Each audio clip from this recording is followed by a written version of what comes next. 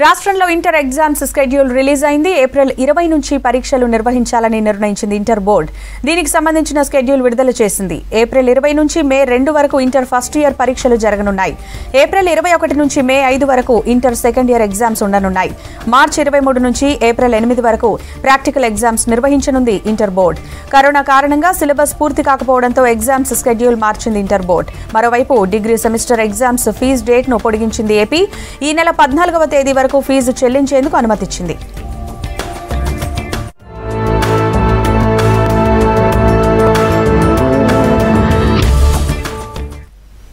యాదాద్రి ఆలయ మహాసంప్రోక్షణ సుదర్శన యాగానికి టైం దగ్గర పడుతుండటంతో పెండింగ్ పనులపై ఫోకస్ పెట్టింది ప్రభుత్వం. ఇందులో భాగంగానే ఇవాళ యాదాద్రిలో పర్యటించారు సీఎం కేసీఆర్. మంత్రులు ఉన్నతాధికారులతో కలిసి పనులు జరుగుతున్న తీరును పరిశీలించారు. అనుకున్న టైంకు పనులన్నీ పూర్తి కావాలని మంత్రులు అధికారులను ఆదేశించారు ముఖ్యమంత్రి.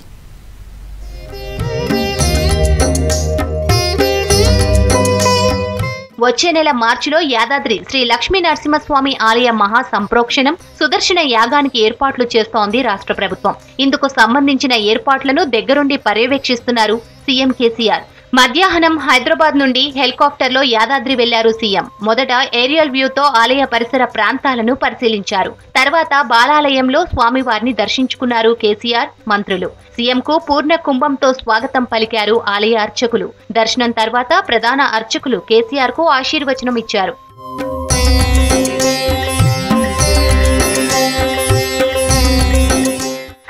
అధికారులు ప్రజా ప్రతినిధులతో కలిసి పనులు జరుగుతున్న ప్రాంతాలను చూశారు ముఖ్యమంత్రి. పునర్నిర్మాణ పనులను పరిశీలించారు. ప్రధాన ఆలయం గర్భగుడిని ప్రత్యేకంగా పరిశీలించారు. కాలినడకన ఆలయం చుట్టూ తిరిగారు. కళ్యాణకట్ట పుష్కరణి నిర్మాణ ఏర్పాట్లను చూశారు. మంత్రులు అధికారులకు పలు సూచనలు చేశారు కేసీఆర్. అక్కడి నుంచి సుదర్శన యాగం చేయనున్న స్థలం దగ్గరకు వెళ్ళారు. మొత్తం డెబ్బై ఐదు ఎకరాల విస్తీర్ణంలో యాగశాల ఏర్పాటు చేస్తున్నారు. అన్నదాన సత్రాలు ఆర్టీసీ బస్టాండ్ నిర్మాణాలను పరిశీలించారు. పుష్కరిణిలో భక్తుల పుణ్య స్నానాలకు ఇబ్బంది లేకుండా చూడాలన్నారు. వ్రత మండపాల నిర్మాణం దీక్షాపరుల మండపాలను పరిశీలించారు సీఎం కేసీఆర్.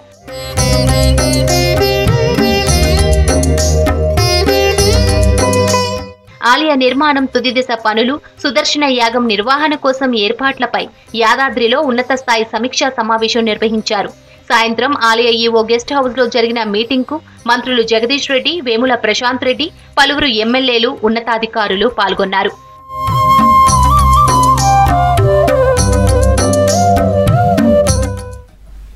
తమ అవినీతి బయటకు రాకూడదనే రాజ్యాంగం మార్చాలని కేసీఆర్ అంటున్నారన్నారు బీజేపీ రాష్ట్ర అధ్యక్షుడు సంజయ్. ఇక సీఎంపై రాజ్యాంగ ద్రోహం కేసులు పెట్టాలని నిర్ణయించారు. ఆత్మహత్య చేసుకున్న కౌలు రైతులకు రైతు బంధు ఇవ్వాలని డిమాండ్ చేశారు వివేక్ వెంకటస్వామి. దళిత బంధు ఏమైందంటూ ప్రశ్నించారు బీజేపీ లీడర్లు.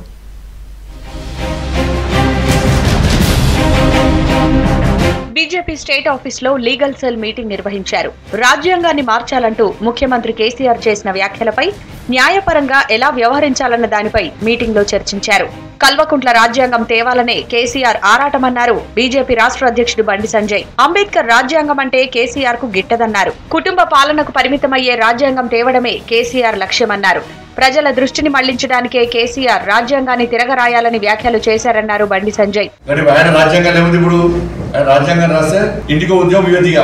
ఏముంది నిరుద్యోగుడు ఎవరు అడగదున్నాను ఈ రుణమాఫీ ఇవాళ ఏమనదు చెప్తారు కదా కేసీఆర్ రాజ్యాంగం పెట్టుకుందంటే వాళ్ళ దగ్గరపాటు నిరుద్యోగ యువకులు అని చెప్తారు ఇవాళ? ఆత్మహత్య చేసుకున్న రైతు కుటుంబాలు అయితే కేసీఆర్ రాజ్యాంగం పెట్టుకున్నారు ఎట్లుందో చెప్తారు వాళ్ళు కూడా. డబుల్ బెడ్రూమ్ ఇస్తున్న పేదలకు ఏ కూడా మోసం చేసే విషయాలు ఇస్తే రాజ్యాంగం పెట్టుకుంటే ఆయన రాజ్యాంగం ఇట్లా రాసుకుంటున్నారండి ఇప్పుడు. కేసీఆర్ సాధ్యం కాని హామీలు ఇచ్చారన్నారు బీజేపీ ఎమ్మెల్యే ఈటెల రాజేందర్. దళిత బంధు ప్రకటించి దానిని తామే ఆపించినట్లుగా ప్రచారం చేశారన్నారు. నవంబర్ నాలుగున ఇస్తామని చెప్పి ఇప్పటి వరకు దళిత బంధు ఇవ్వలేదని విమర్శించారు ఈటెల. దళిత బంధు స్కీమ్ తేవడానికి అసలు కారణం తానే అన్నారు ఎమ్మెల్యే ఈటెల. రాత్రికి రాత్రి పాస్ పుస్తకాలు ఇష్యూ చేసి దాన్ని ఏదో మేము ఆపుతున్నట్టుగా చిత్రీకరించే ప్రయత్నం చేసి మా మీద బురద తల్లి మా మీద అబద్ధాలు ప్రచారం చేసి దళితుల ఓట్లను కొల్లగొట్టే ప్రయత్నం చేసి పూర్తి స్థాయిలో దళిత బంధు అందుకున్న వాళ్ళ సంఖ్య నూట తొంభై మంది. కేసీఆర్కి హుజరాబాద్లో ఉన్న దళితుల మీద ఓ- ప్రేమ కంటే దళితుల ఓట్ల మీద మాత్రమే ప్రేమ. దళిత బంధు కారకునే ఇట నేను ఇటలా రాష్ట్రంలో రైతులు కౌలు రైతుల ఆత్మహత్యలకు సీఎం కేసీఆరే కారణమన్నారు బీజేపీ జాతీయ కార్యవర్గ సభ్యులు వివేక్ వెంకటస్వామి. జయశంకర్ భూపాలపల్లి జిల్లాలోని కాటారం మహాదేవ్పూర్ మండలాల్లో పర్యటించి ఆత్మహత్య చేసుకున్న రైతు కుటుంబాలను పరామర్శించి ఆర్థిక సహాయం చేశారు. అంబట్పల్లిలో అప్పుల బాధతో ఆత్మహత్య చేసుకున్న పుట్టారవి కుటుంబ సభ్యులతో మాట్లాడారు. అనారోగ్యంతో చనిపోయిన సింగనవేన అర్జయ్య యాదవ్ కుటుంబాన్ని పరామర్శించి ఆర్థిక సహాయం చేశారు. సూరారం కాటారంలోనూ పలువురి కుటుంబాలను పరామర్శించారు. కౌలు రైతులకు రైతు బంద్ ఇవ్వాలని కోరుతున్న కేసీఆర్ వినిపించుకోవడం లేదన్నారు వివేక్. రాష్ట్రంలో ఫసల్ బీమా అమలు చేయడం లేదన్నారు. మేము చాలా సార్లు డిమాండ్ చేస్తున్నాం. ప్రధానమంత్రి ఫసల్ బీమా అంటే పంట నష్టపోయినప్పుడు ఇన్సూరెన్స్ ఏదైతే స్కీమ్ ఉందో దాన్ని తెలంగాణలో అమలు చేయమని చెప్పి చాలాసార్లు డిమాండ్ చేయడం జరిగింది. కానీ ముఖ్యమంత్రి కళ్ళు తెరవలేదు. పాపం ఈ రోజు వాళ్ళకు ఫసల్ బీమా ఉండుంటే కొద్దిగా వారికి సహాయపడేది. మీరు ఇమీడియట్లీ రైతు బంధు కౌలుదారులకు ఇవ్వాలి. సూర్యాపేట జిల్లాలో ధాన్యం కొనుగోళ్ళలో అవినీతి జరిగిందని ఆరోపించారు బీజేపీ రాష్ట్ర ఉపాధ్యక్షుడు సంకినేని వెంకటేశ్వరరావు. వ్యక్తుల పేర్లు లెక్కలతో సహా ఆధారాలతో నిరూపించినా చర్యలు తీసుకోవడం లేదని మండిపడ్డారు. అవినీతికి పాల్పడిన వ్యక్తులు మంత్రి జగదీష్ రెడ్డి అండతో తప్పించుకునే ప్రయత్నం చేస్తున్నారన్నారు. మంత్రి నిజాయితీపరుడైతే అవినీతిపై చర్చకు రావాలని సవాల్ చేశారు సంకినేని. తక్షణమే ఇక్కడ ఏదైతే కొనుగోలు కేంద్రాలకు సంబంధించిన జిల్లా అధికారులను తప్పించాలి. వేరే జిల్లాల నుండి టాస్క్ ఫోర్స్ విజిలెన్స్ ఆ స్థాయి ఒక స్పెషల్ అధికారిని సీనియర్ ఐఏఎస్ అధికారిని సిబిఐ అధికారులకు తక్షణమే అప్పచెప్పాలి బీజేపీని బీడీ టీఆర్ఎస్లో చేరతారంటూ జరుగుతున్న ప్రచారాన్ని ఖండించారు కామారెడ్డి జిల్లా ఎల్లారెడ్డి మాజీ ఎమ్మెల్యే ఏనుగు రవీందర్ రెడ్డి. తాను టీఆర్ఎస్లో చేరతానంటూ ఆ పార్టీ నేతలు తప్పుడు ప్రచారం చేస్తున్నారని ఆరోపించారు రవీందర్ రెడ్డి. ఎట్టి పరిస్థితుల్లోనూ బీజేపీని వీడేది లేదన్నారు. దళిత గిరిజనుల హక్కులు కాలరాసే కుట్ర చేస్తున్నారన్నారు రాష్ట్ర కాంగ్రెస్ ఎంపీలు. రాజ్యాంగం మార్చాలన్న కేసీఆర్ కామెంట్స్ వెనుక బీజేపీ ఉందన్నారు. గ్రేటర్ హైదరాబాద్లో టీఆర్ఎస్ మంత్రులు ఎమ్మెల్యేలు ప్రజాప్రతినిధుల అక్రమ నిర్మాణాలపై చర్యలు తీసుకోవాలని డిమాండ్ చేశారు రేవంత్ రెడ్డి. లేదంటే తామే ప్రత్యక్ష కార్యాచరణ చేపడతామని హెచ్చరించారు. రాజ్యాంగంపై సీఎం కేసీఆర్ చేసిన కమెంట్స్ పై ఢిల్లీలో నిరసన తెలిపారు రాష్ట్ర కాంగ్రెస్ ఎంపీలు. పార్లమెంట్ అంబేద్కర్ విగ్రహం దగ్గర పీసీసీ చీఫ్ రేవంత్ కోమటిరెడ్డి ఉత్తమ్ కుమార్ రెడ్డి ధర్నా చేశారు. రాజ్యాంగంపై కేసీఆర్ చేసిన వ్యాఖ్యలను ప్రధాని రాష్ట్రపతి దృష్టికి తీసుకెళ్ళేందుకే ధర్నా చేస్తున్నామన్నారు. దళిత గిరిజనుల హక్కులు కాలరాసే కుట్ర జరుగుతోందన్నారు ఎంపీలు. రాజ్యాంగం మార్చాలన్న కేసీఆర్ కమెంట్స్ వెనుక బీజేపీ ఉందన్నారు. రేపు లోక్సభలో వాయిదా తీర్మానం ఇస్తామన్నారు రేవంత్ రెడ్డి. ఈ ధర్నా ద్వారా ఆయన కనీసం రాష్ట్రపతి ప్రధానమంత్రి గారు స్పందించి చంద్రశేఖరరావు గారు పాల్పడ్డ దేశద్రోహం మీద చర్యలు తీసుకోవాలి. భారత రాజ్యాంగాన్ని రద్దు చేయాలన్న ప్రతిపాదన వచ్చిందంటే రాజ్యాంగం ద్వారా రక్షణ కల్పించబడిన దళితులకు గిరిజనులకు ఆదివాసీలకు మహిళలకు అదేవిధంగా సంపన్నులకు పేదలకు తేడా లేకుండా కల్పించిన ఓటు హక్కును వీటన్నిటిని రద్దు చేయాలనే కుట్ర జరుగుతుంది. ఈ కుట్రకి ఎప్పటి నుంచో భారతీయ జనతా పార్టీ ప్రయత్నం చేస్తూనే ఉంది. వారు ఈరోజు కేసీఆర్ ద్వారా ఈ అవకాశాన్ని తీసుకొని వారి ఆలోచనను కేసీఆర్ గారు ప్రస్తావించారు. మంత్రి కేటీఆర్కు బహిరంగ లేఖ రాశారు TPCC chief Revanth Reddy. Greater హైదరాబాద్లో టీఆర్ఎస్ మంత్రులు ఎమ్మెల్యేలు ప్రజా ప్రతినిధుల అక్రమ నిర్మాణాలపై చర్యలు తీసుకోవాలని డిమాండ్ చేశారు. అక్రమ కట్టడాలకు సంబంధించి ఆధారాలను కూడా ఇచ్చారు. టీఆర్ఎస్ ప్రజాప్రతినిధులు ప్రభుత్వ భూములు చెరువులు కబ్జా చేసి అక్రమ కట్టడాలు కడుతున్నారన్నారు. జవహర్ నగర్లో నాలుగు వందల ఎనభై ఎనిమిది సర్వే నెంబర్లో మంత్రి మల్లారెడ్డి బంధువులు అక్రమ నిర్మాణాలు యథేచ్ఛగా చేసి అక్కడ ఆసుపత్రి కూడా నిర్మించి మరో మంత్రి చేత ప్రారంభింపజేశారన్నారు. గ్రేటర్లో టీఆర్ఎస్ నాయకులు చేసిన కబ్జాలు కోకొల్లలుగా ఉన్నాయన్నారు. ఇప్పటికైనా మున్సిపల్ శాఖ మంత్రి స్పందించి చర్యలు తీసుకొని అక్రమ నిర్మాణాలను కూల్చివేయించాలన్నారు.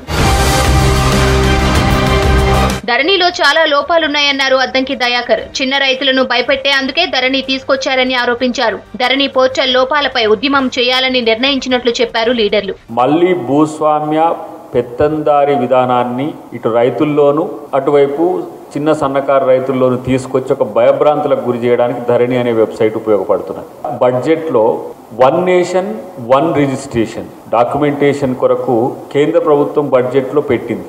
ఈ ప్రభుత్వం చేస్తున్న భూ దంద లేకపోతే భూ దోపిడిని అడ్డుకునేది వన్ నేషన్ వన్ రిజిస్ట్రేషన్ అనేది కూడా ఒక అడ్డుకట్ట వేసే ప్రయత్నం జరుగుతుంది. ఆయనకు అందుకనే తిక్కలేస్తున్నది రెండు లక్షల ఎకరాల పైచిలకు హైదరాబాద్ చుట్టుపక్కల ఉన్న భూములు. వీళ్ళంతా ఇరవై రెండు లక్షల పైచిలకు ఎకరాలు ఇప్పుడు డోల్ డ్రమ్స్లో పడింది అంటే ఆగభ్య గోచరంలో పడ్డది. సో దీని మీదనే పీసీసీ ధరణి కమిటీ సీరియస్గా ఫైట్ చేయడానికి రాష్ట్రంలో ప్రజాస్వామ్యం కూని అవుతోందన్నారు మాజీ మంత్రి కాంగ్రెస్ నేత నాగం జనార్దన్ రెడ్డి. సీఎం కేసీఆర్ తన అవినీతిని కప్పిపుచ్చుకోవడానికి రాజ్యాంగంపై ఇష్టం వచ్చినట్లు మాట్లాడుతున్నారని మండిపడ్డారు. ఎన్నికల సమయంలో ఇచ్చిన హామీలు ఆసరా పింఛన్లు నిరుద్యోగ భృతి డబుల్ బెడ్రూమ్ ఇల్లు రైతు రుణమాఫీ అమలు చేయకుండా కాలయాపన చేస్తున్నారని విమర్శించారు. రంగారెడ్డి జిల్లా ముచ్చింతల్లోని చిన్నజీయర్ స్వామి ఆశ్రమం భక్తజన సంద్రమైంది. రామానుజాచార్యుల సహస్రాబ్ది వేడుకలకు హాజరయ్యారు ఏపీ సీఎం వైఎస్ జగన్. రామానుజుడి ఆదర్శాలు సమాజానికి అవసరమన్నారు జగన్. రేపు కేంద్ర హోంశాఖ మంత్రి అమిత్ షా ముచ్చింతలు రానున్నారు. సాయంత్రం సహస్రాబ్ది ఉత్సవాల్లో పాల్గొననున్నారు షా. రంగారెడ్డి జిల్లా శంషాబాద్ ముచ్చింతల్లో రామానుజ సహస్రాబ్ది ఉత్సవాలు ఘనంగా జరుగుతున్నాయి. సాయంత్రం ఏపీ ముఖ్యమంత్రి వైఎస్ జగన్మోహన్ రెడ్డి ముచ్చింతల్ శ్రీరామనగర్లో పర్యటించారు. ఏపీ నుంచి హెలికాప్టర్లో మంత్రులు Vellampalli Balineni Srinivasa Reddy TTD chairman YV సుబ్బారెడ్డితో కలిసి శంషాబాద్ వచ్చారు జగన్. ముచ్చింతల్ చేరుకున్న జగన్ చిన్నజీయర్ ఆశ్రమంలోని గెస్ట్ హౌస్కు వెళ్ళారు. అక్కడి నుంచి సంప్రదాయ దుస్తుల్లో ప్రవచన మండపానికి వచ్చారు అక్కడ జీఆర్ స్వామి సమక్షంలో చిన్నారుల విష్ణు సహస్రనామ అవధానం నిర్వహించారు. ప్రవాస భారతీయ చిన్నారుల అవధనాన్ని సీఎం జగన్ చూశారు. Sahasranamam the Vasudeva is repeated three times in slokas thirty six Skanda Skanda ధరోధుర్యో వరదో వాయు వాసుదేవ సెవెంటీ ఫోర్ మనోజవస్తీర్థకరో వసురేత వసుప్రద. శ్రీ రామానుజ సహస్రాబ్ది ఉత్సవాల్లో పాల్గొనడం సంతోషంగా ఉందన్నారు జగన్. వెయ్యేళ్ళ క్రితమే రామానుజాచార్యులు సమానత్వాన్ని బోధించారని చెప్పారు. అసమానతలు రూపుమాపేందుకు రామానుజాచార్యులు కృషి చేశారని చెప్పారు జగన్. తనకు పాపం తగిలినా కూడా పర్వాలేదు అని ఒక గొప్ప భావముతో ఒక గొప్ప ఉద్దేశంతో ఒక మెసేజ్ కమ్యూనికేట్ చేసిన ఒక గొప్ప మనిషి స్టాచ్యూను మనమంతా కూడా ఈరోజు స్మరించుకుంటా ఉన్నాం. శ్రీ రామానుజం గారు ఆ రోజు ఏదైతే తాను నిలబడ్డాడో విలువల కోసం ఈ రోజుకి కూడా ఆ విలువలను ఇంకా ఇంకా ముందుకు తీసుకొని పోవాల్సిన అవసరం ఉన్న సొసైటీలో ఇంకా కూడా మనం ఉన్నాము అన్నది కూడా గుర్తుపెట్టుకుని సొసైటీని మార్చాలి అందరూ సమానులే అని చెప్పే ఒక గొప్ప మెసేజ్ను ఇవ్వడం కోసం చిన్నజేరు స్వామి గారు ఈ స్టాచ్యూను స్థాపించారు. ఏపీలో అన్ని వర్గాల పిల్లలకు నాణ్యమైన విద్యను అందిస్తున్న జగన్ను అభినందించారు చిన్నజీయర్ స్వామి జగన్ నిబద్ధతను చూసి ఆశ్చర్యపోయానన్నారు. గతంలో దివంగత వైఎస్ఆర్ అన్ని వర్గాల అభ్యున్నతికి కృషి చేశారని గుర్తు చేశారు any ruler should have the concern of all sections of the society and treat all of them equally, protecting their own rights and making them understand each other and give respect to each other. And we are very, very happy that they, in spite of power in hand, are able to accept the guidance provided by elderly people. ప్రవచన మండపం నుంచి నేరుగా సమతామూర్తి విగ్రహం దగ్గరకు వెళ్ళారు జగన్. నూట ఎనిమిది దివ్య దేవాలయాలను సందర్శించారు. లేజర్ లైటింగ్ వెలుగుల్లో ఉన్న సమతామూర్తి విగ్రహం అందరినీ ఆకట్టుకుంటోంది. తర్వాత దివ్య క్షేత్రం విశిష్టతను జగన్కు వివరించారు చినజీయర్ స్వామి. రేపు కేంద్ర హోంశాఖ మంత్రి అమిత్ షా ముచ్చింతలు రానున్నారు. సాయంత్రం నాలుగున్నరకు ప్రత్యేక విమానంలో ఢిల్లీ నుంచి హైదరాబాద్ చేరుకుంటారు. అక్కడి నుంచి ముచ్చింతల్ జియర్ ఆశ్రమానికి వెళ్ళనున్నారు. మూడు గంటల పాటు ఆశ్రమంలో ఉండనున్నారు. రాత్రి ఎనిమిది గంటలకు తిరిగి ఢిల్లీకి వెళ్ళనున్నారు అమిత్ షా. సహస్రాబ్ది వేడుకల్లో మరో కీలక ఘట్టం ఆవిష్కృతమైంది. ఉదయం సమతామూర్తి కేంద్రంలోని నూట ఎనిమిది దివ్య దేశాల్లో ముప్పై మూడు ఆలయాలకు ఋత్వికులు ప్రాణ ప్రతిష్టాపన చేశారు. యాగశాల నుంచి దివ్య దేశాలకు చెందిన దేవతామూర్తులతో శోభాయాత్ర నిర్వహించారు. ఆరో రోజు శ్రీరామనగరం భక్తజన సంద్రమైంది. రెండు వందల పదహారు అడుగుల రామానుజాచార్యుల విగ్రహాన్ని దర్శించుకున్నారు భక్తులు. యాగశాలలో దృష్టి దోషాల నివారణకు వైయూహికేష్టి యాగాన్ని నిర్వహించారు. ఐదు వేల మంది ఋత్విజుల వేద మంత్రాల మధ్య శాస్త్రోక్తంగా లక్ష్మీనారాయణ మహాక్రతువు నిర్విఘ్నంగా కొనసాగుతోంది. నూట పద్నాలుగు యాగశాలల్లో వెయ్యి ముప్పై ఐదు హోమకుండాల్లో ఋత్విజుల చతుర్వేద పారాయణాల మధ్య ఘనంగా జరిగింది. కవితలు సెటైర్లు ఫన్నీ కామెంట్లతో కొనసాగింది లోక్సభలో ప్రధాని మోడీ ప్రసంగం. పూర్తిగా కాంగ్రెస్ టార్గెట్గా సాగిన స్పీచ్లో నెహ్రూ నుంచి రాహుల్ దాకా అందరిపై విమర్శలు చేశారు. యూపీఏ లోపాలు ఎన్డీఏ పనులను వివరించారు. మరోవైపు అసదుద్దీన్కు భద్రతపై రాజ్యసభలో ప్రకటన చేశారు అమిత్ షా. మరో వందేళ్ళ వరకు అధికారంలోకి రాకూడదని కాంగ్రెస్ నిర్ణయించుకుందన్నారు ప్రధానమంత్రి నరేంద్ర మోడీ. అధికారంలోకి రాకూడదని కాంగ్రెస్ నిశ్చయం చేసుకుంటే దానికి తగ్గట్టు తాము కూడా ప్రణాళికలు రెడీ చేసుకున్నామంటూ సెటైర్లు వేశారు. రాష్ట్రపతి ప్రసంగానికి ధన్యవాద తీర్మానంపై లోక్సభలో మాట్లాడిన మోడీ కాంగ్రెస్ టార్గెట్గా విమర్శలు చేశారు. గతంలో కాంగ్రెస్ పాలించిన ఏ రాష్ట్రం కూడా మళ్ళీ వారి పాలన కోరుకోవడం లేదన్నారు. తెలంగాణ ఇచ్చామని చెప్పుకున్న కాంగ్రెస్కు ప్రజలు ఓటేయలేదన్నారు. విభజించు పాలించు అనేది వాళ్ళ నినాదమని టుక్డే టుక్డే గ్యాంగ్ కు కాంగ్రెస్ లీడర్ గా మారిందని ఆరోపించారు నెహ్రూ నుంచి ప్రస్తుత తరం కాంగ్రెస్ నేతల వరకు ప్రతి ఒక్కరిపై విమర్శలు చేశారు ప్రధాని సభలో ప్రధాని మాట్లాడుతుండగా చాలా సార్లు కాంగ్రెస్ ఎంపీలు అడ్డు తగిలారు नहीं, दादा को बीच बीच में मौका देना चाहिए क्योंकि दादा उम्र के इस पड़ाव में भी बचपना का मजा लेते रहते हैं आपने जो अपने आप को एक ऐसी मानसिक अवस्था में बाँध के रखा है, देश की जनता आपको पहचान गई है।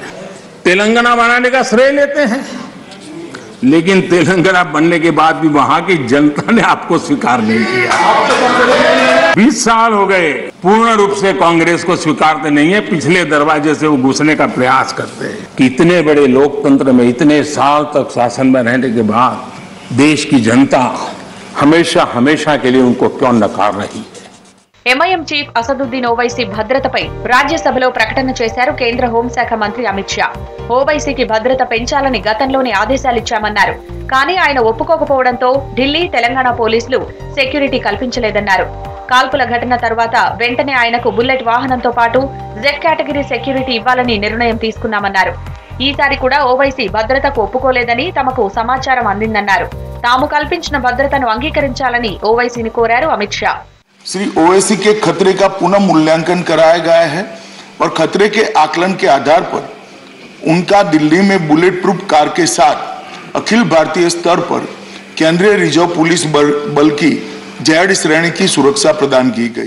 ఉత్తరప్రదేశ్ ఎన్నికల ప్రచారంలో నసదుద్దీన్ ఓవైసీ అమిత్ షా కామెంట్స్ పై స్పందించారు.